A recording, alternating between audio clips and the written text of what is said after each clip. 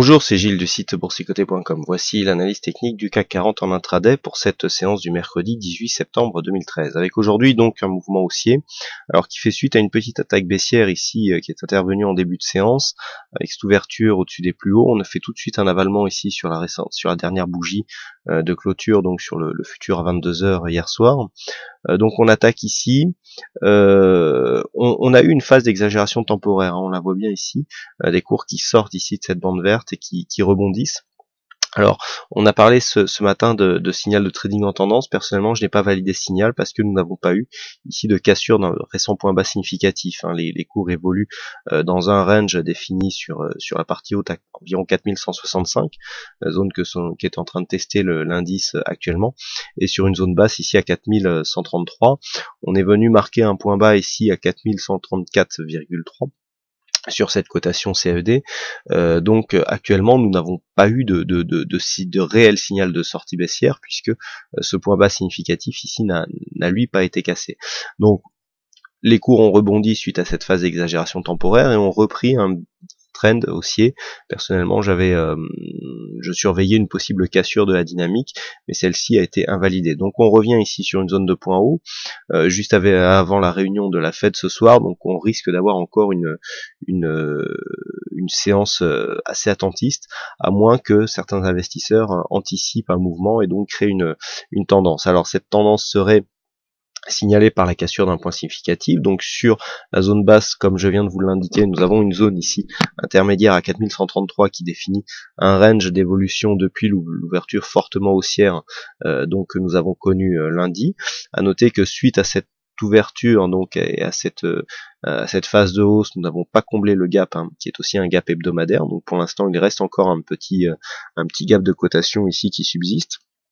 Et puis, euh, donc deuxième zone, euh, cette zone hausse hein, que les, les, cours sont en train de tester au moment où je fais cette analyse. D'ailleurs, on est peut-être en train d'assister à une cassure qui, en cas de, cassure donc et d'objectif aux alentours des 4190 points, pourrait nous donner un signal de, de continuité haussière. Hein. D'ailleurs, je vous invite à vous reporter sur l'analyse daily euh, de cette du CAC 40 afin de, de, vérifier les, les objectifs, hein, puisque nous avons des extensions de, de Fibonacci suite à la précédente phase de consolidation euh, qui nous donne des objectifs en cas de cassure ici de cette de cette zone de hausse, à savoir que euh, les, les, CFD ont, ont coté euh, donc sur la cotation synthétique entre pardon entre dimanche soir et lundi dans des zones proches des 4190 points. Donc en général, ce, genre de cotation est souvent confirmé euh, sur une cotation cash, voire même sur une cotation euh, sur une cotation future.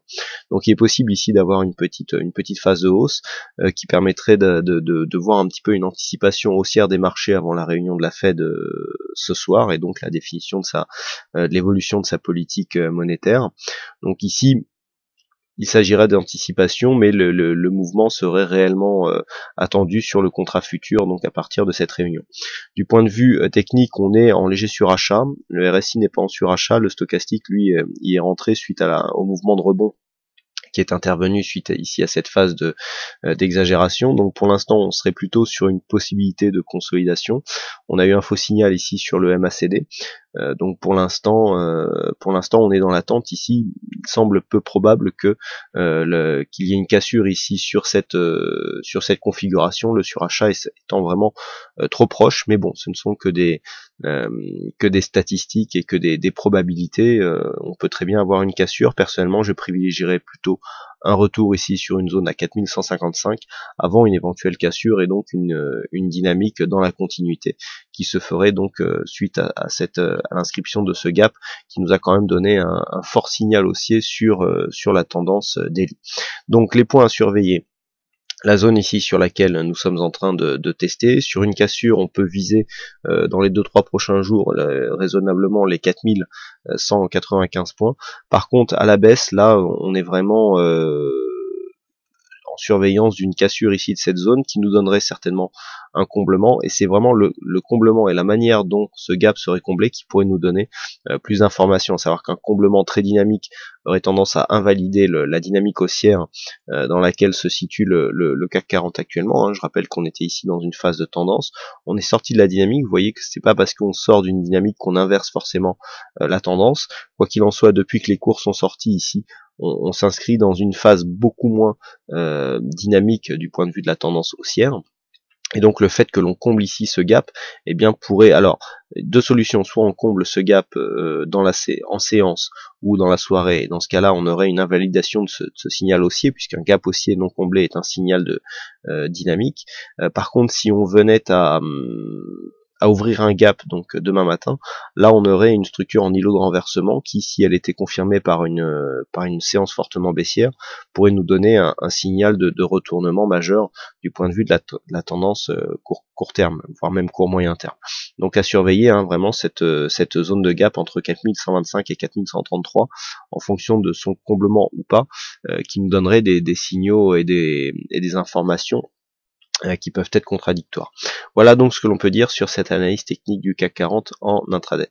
Il ne reste plus qu'à vous souhaiter à toutes et à tous une bonne séance, bonne chance dans vos prochains trades et on se retrouve donc euh, dès ce soir pour toutes les autres analyses techniques du site boursicoté.com. À ce soir et bonne séance.